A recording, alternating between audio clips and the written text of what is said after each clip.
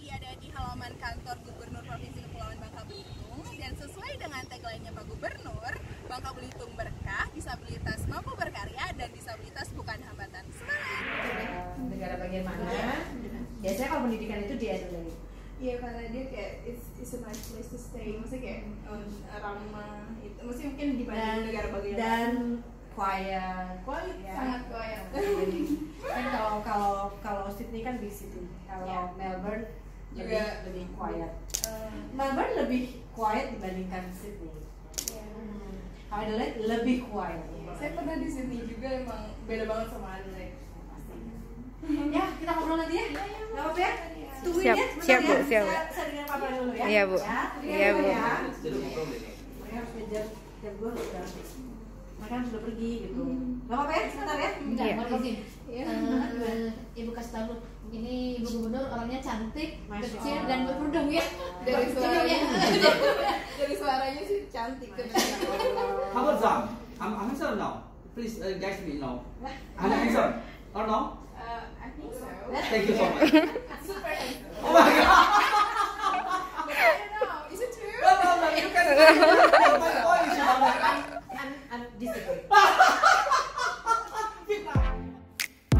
Kalau kalian pengen dukung campaign isu-isu disabilitas yang aku lakuin, please ya, klik tombol subscribe dan nyalakan juga lonceng notifikasinya. Dan jangan lupa like and share biar yang lainnya juga pada tahu tentang isu ini. Dan kalau mau tanya-tanya, boleh kok komen. Oke guys, selamat menonton ya, and thank you so much.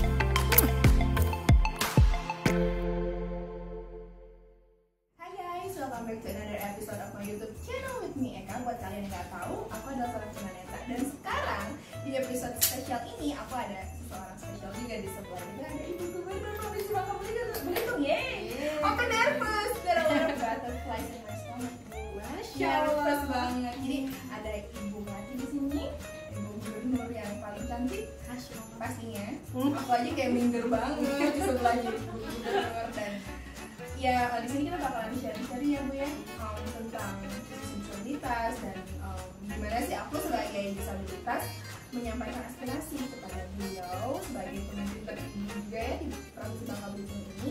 Dan ya program-program aja para gubernur di sini. So kita terus. Senang sekali bu karena dikasih kesempatan kan juga buat juga udah menerima saya di sini gitu kan untuk perwakilan disabilitas ini untuk aspirasi untuk kenalan juga. Gitu. Karena ya ibu orangnya friendly, lokal, terus ya asik gitu kan. Oke deh. Ya. Ampun sama pemimpin tertinggi gitu kan provinsi. jadi ibu juga senang banget Eka bisa mampir ke sini yang memang sebenarnya em, dikasih tahunya sama ibu Bu Sri ya Nah, saya karena pramuka manggilnya hari ini kak Oh iya. jadi kak Sri ini yang menghubungi em, Yati untuk minta waktu gitu ya ketemu sama anak Eka terus saya pikir karena saya besok juga harus berangkat gitu ya em, hektik ya udah hari ini mohon maaf justru saya saya sela-sela di kegiatan saya Iya, kan Ada. masalah, seneng jadi Eka dari kapan di Australia? Eh, baru satu semester Juni kemarin Hmm. pas semester itu masuk ke sana Em, jadi masih satu tahun lagi ya selesai kuliah itu baru semester satu Baru semester satu. Jadi Eka ikut program apa nih? Bisa. Em, Bisa. S2 Oh, jadi S2? ambil master di sana Oke, S satunya di mana? di Semarang Oh, S satunya di Iya, di Semarang. Semarang karena kan memang saya dapat beasiswa dari organisasi ketunanetraan juga kan di Hmm. Indonesia Persatuan Tunanetra Indonesia terus ditawarin saya kan orang tua saya waktu itu nggak punya biaya terus ditawarin kuliah gratis boleh deh ambil jadi di Semarang Semarang, kuliah di Heeh, terus univ em, di mana di Australia Enggak di Semarang. oh di Nusantara Ngambil apa nih? ambil sastra Inggris Oh. Masya Allah. Saya yang nervous sekarang bahasa Inggrisnya ya. enggak sih percaya lah ibu mau pasti jago lah. Nggak juga. Oke, terus dapat beasiswa? Iya dapat. Australia. Eh, iya itu juga berproses ya bu. Masih seperti ditolak juga namanya perjuangan gitu. Akhirnya yang kedua my second try ya aku saya kepilih akhirnya lanjut kuliah pilih di um, Flinders University di Adelaide. Karena memang jurusannya disabilitas jadi yang ada cuma di situ. Ya. Oh, pilih sana. Ada pilihan lain nggak desain waktu Eka waktu memilih oh uh, pilihannya Adelaide apa Iya. apa apa apa gitu. Eh, apa? Ada pilihan lain? Em, jujur kalau untuk jurusan ini untuk international student tuh cuman available di Flinders ya di Adelaide itu. Dan kebetulan tempatnya juga enak ya Hmm. di sana gitu untuk living di sana asik. Jadi kebetulan banget gitu. Iya, memang itu eh, ini ya kot, bukan kota negara pelajar ya kayak Adelaide ya? Iya bisa gitu. Tapi memang untuk kampus kita tahunya di Melbourne, Sydney ya yang yang the best tapi kita ngelihat ranking bukan dari universitas katanya Iya. tapi lihatlah dari jurusan Oke.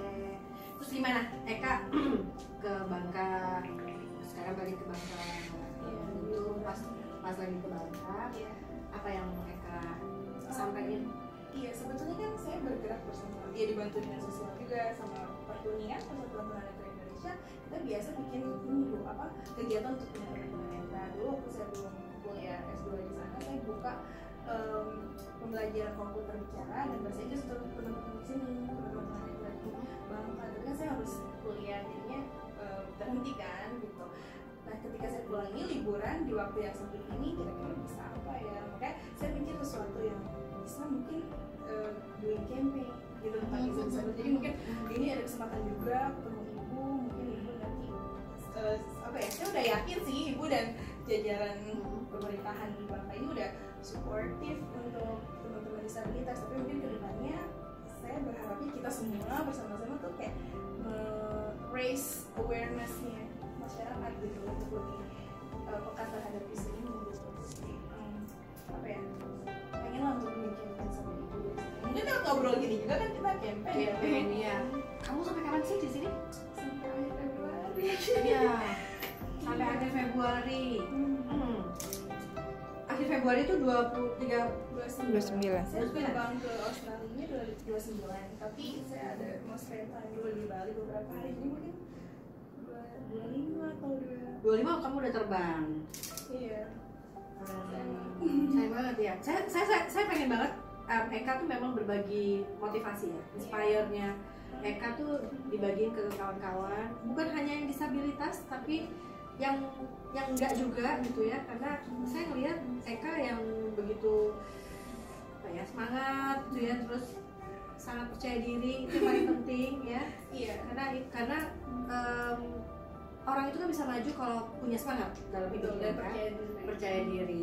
Yang lain kan bisa kita tapi ngomong-ngomong soal itu bu eh, berbagi sharing pengalaman hidup sebenarnya Bu Sri itu ngajak saya untuk ini Gus Bandi dan juga ke ibu nanti ada rencana kita mau keliling roadshow gitu ke sekolah-sekolah SMA Hmm. jadi kita mau share pengalaman untuk memotivasi sebenarnya motivasi itu bagus dari diri mereka ya Iya, iya. cuman mungkin bisa men-trigger lah gitu hari Jumat besok mau ada cerita SMA negeri satu Merawang sama Pangkal Pinang Hmm.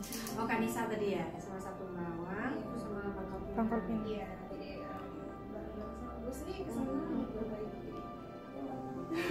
Jumat, Jumat saya ada di Belitung. Sayang banget ya, Iya. sayang banget. Oke, 25 kamu baru terbang ke ke Bali. Ya, Hmm. belum belum tahu sih tapi sekitar tanggal segitu. Mama kamu, so- ah, papa, orang tua masih ada? Eh, masih eh, kalau bapak kan pensiun tentara dulunya, tapi sekarang kerja lagi di Karawang di Texmaco. Tapi kalau ibu jualan nasi Di di sini di Bangka. di Bangka. Oh, jadi ini yang di Bangka ada mama ya? Ada, ada adik? Ada ada cuma dia udah kerja di Bekasi. Hmm. Nggak kuliah kan. Eka berapa keluarga? Berapa saudara? Dua. Eka paling besar. Dari Eka cewek juga. cowok.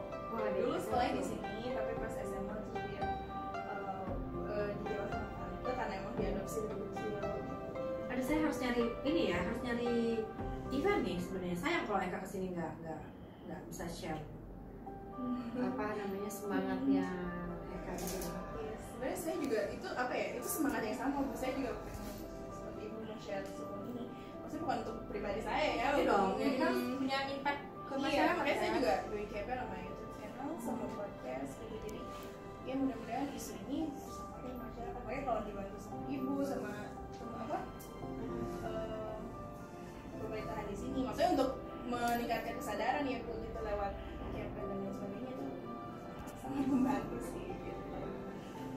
Em, saya bingung saya Sebenarnya sih doing apa campaign itu nggak harus ini ya bu ya. Masa ada event itu nggak harus. Saya lagi mikirin nih agenda apa yang cocok Eka masuk.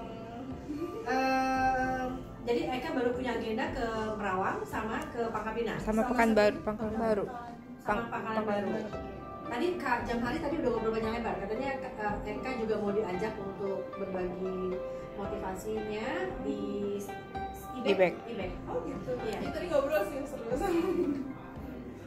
Udah mah percaya diri. maksudnya tuh kayak confident Iya. banget gitu I'm not. but I think you have No, I'm not good in English. but you're so fine and beautiful Thank you. jadi bener-bener terinspirasi juga maksudnya kayak bisa berkiprah juga sebagai perempuan. Ya bu ya maksudnya kita perempuan ya cuma di rumah gitu Oh, bisa iya. berkiprah juga tapi tetap semangat tapi tetap juga sayang keluarga. Aku yakin gitu sih. Tetap nggak boleh hilang kodratnya ya. iya betul. Eh, jadi gini nanti ibu lihat ya eh, jadwal agenda mana nih kira-kira Eka bisa masuk di mana. Dan saya ibu juga pengen Eka ya itu tadi berbagi sebenarnya em, tanggal 19 ini tuh ibu sebagai eh, pembicara di kelas inspirasi. Tanggal 19 Februari itu hari Sabtu ya? Hari Rabu. Nah unfortunately bener bahasanya?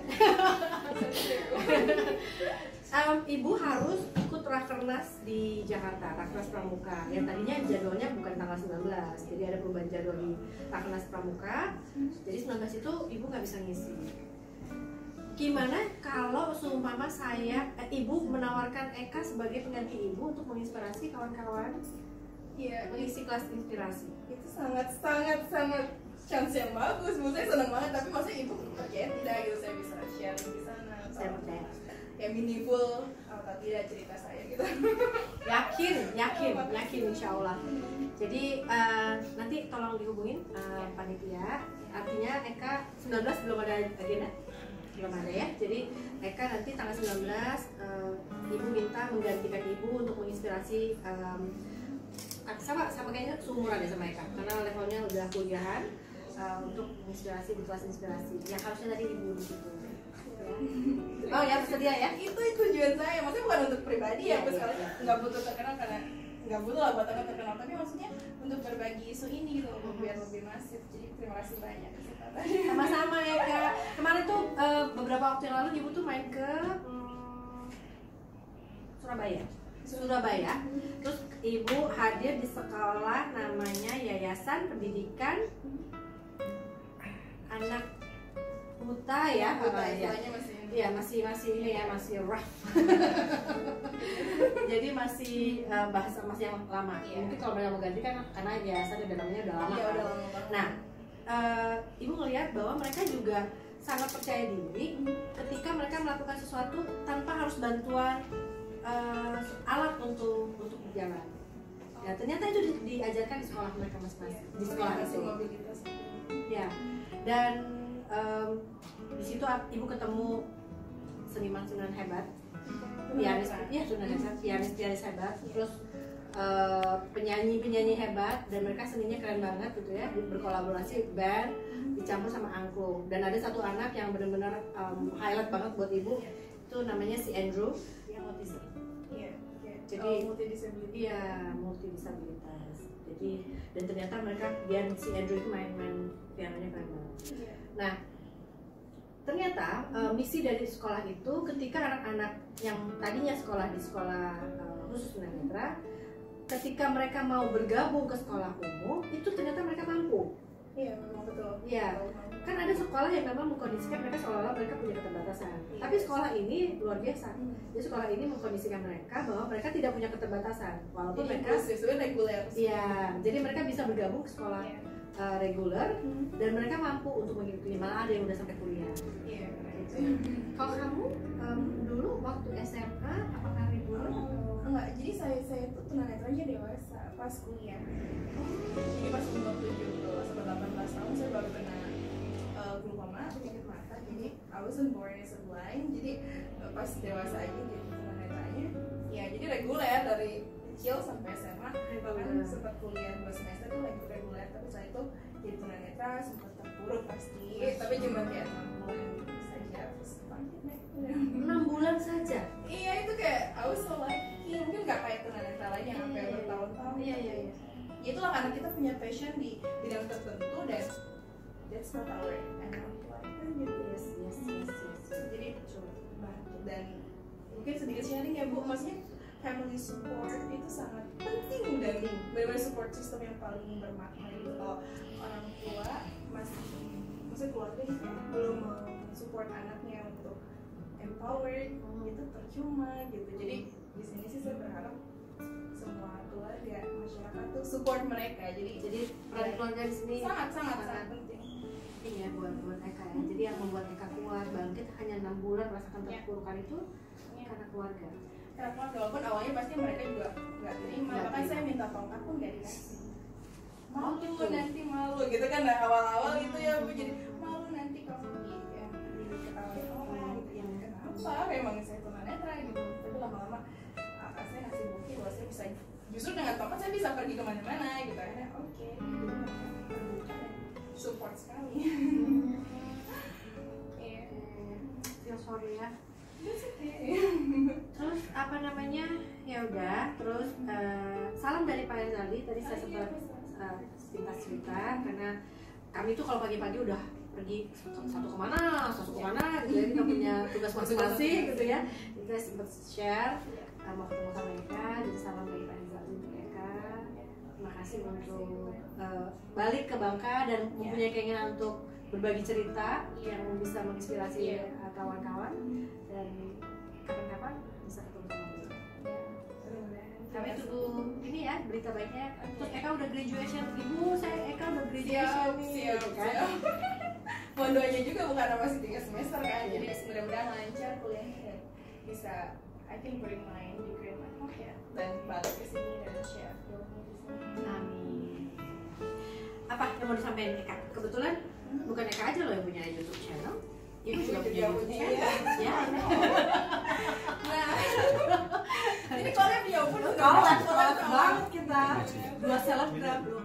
Iya, em, permasalahan mereka mirip dengan dengan disabilitas pada umumnya gitu cuman mungkin yang strong dari mereka yang sangat kuat itu adalah stigma se- sebagai tunanetra dan sebagai perempuan gitu. Iya, so uh, mudah-mudahan ya tadi balik ke campaign tadi, maksudnya ibu kan punya power ya, maksudnya mudah-mudahan bisa bisa bersama-sama, maksudnya um, apa namanya, doing campaign uh, untuk khususnya untuk keluarga biar perempuan tunanetra itu nggak nggak cuma dikurung di rumah, walaupun mereka nggak nggak sengaja mengurung, tapi maksudnya biarkan mereka itu empowered di masyarakat, karena kayak seperti ibu ya bisa berpartisipasi masyarakat, bisa punya Iya mengaktualisasikan betul dirinya. betul betul. Jadi nggak cuma di apa di rumahkan saja Iya. gitu itu sih bu maksudnya untuk campaign seperti itu dan juga pastinya um, secara teknis kayak empowerment ya maksudnya di bidang pendidikan pelatihan atau di bidang pekerjaan dan itu penting sekali karena pendidikan sih sebenarnya agak sedikit udah terselesaikan masalah masalah pendidikan walaupun masih tetap ada masalah tapi yang sekarang kendala tuh kalau disabilitas itu ini bu apa pekerjaan jadi ke- mereka tuh lulusnya satu bahkan ada S2 tapi setelah itu mereka what should they do? Iya. Maksudnya they just you know like there's no opportunity gitu. Jadi mudah-mudahan Iya, iya. di Bangka ini bisa eh, saya tahu banget di Bangka ini peduli bahkan saya pernah baca berita juga di sini tuh termasuk provinsi yang masa ada perda juga gitu untuk disabilitas dan juga kuotanya itu nyata sekali ya untuk disabilitas dan banyak untuk apa PNS Mereka punya Hmm. sama haknya ya. Betul, betul sekali. Nah, tapi mungkin belum maksimal dari karena mungkin dari teman-teman disabilitas sendiri belum Mempersiapkan diri, ya, tapi uh, diri. tapi mudah-mudahan next time akan ada project dari ada berrealisasi bahwa oh iya oke kita membuka kuota tapi juga ada dis- disabilitas yang memang bekerja di institusi pemerintahan gitu ya atau ya dan sebagainya maksudnya untuk sebagai um, apa ya pembuktian tentu project bahwa disabilitas juga mampu dan pemerintah sangat peduli gitu terhadap disabilitas Iya, iya. sih menurut pekerjaan itu pen- penting ya bu ya maksudnya enggak Ya, yang pasti em, persamaan hak tadi ya. Jadi bukan berarti mereka em, Dispesialkan. dispesialkan dengan keterbatasannya.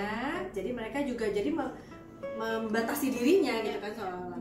Nah sekarang memang eh, salah satu challenge kita juga adalah membuka eh, mindset mereka bahwa ketika ketika seseorang yang sudah eh, terbatas ya artinya eh, punya label terbatas jangan membatasi dirinya gitu Betul. kadang-kadang kan mereka yang membatasi dirinya Iya.